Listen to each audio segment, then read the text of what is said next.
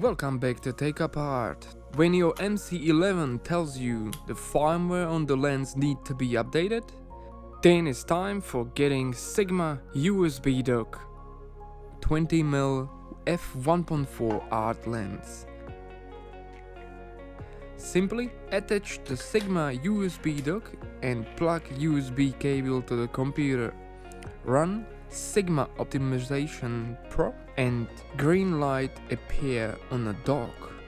Program will detect lens automatically. It shows you even picture of the lens and current firmware version. If new version available, it automatically asks you for update. Click yes and agree.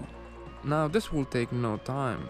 This is in real time with no cuts so you can see it is fast. By the way, you will find links for purchase Sigma USB dock and much more in the description.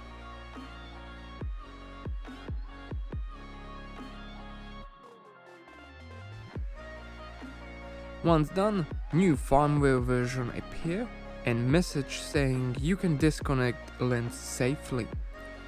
And all done.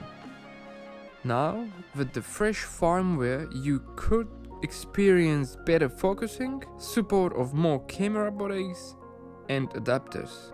Thanks for watching and let me know what improvements you experiencing.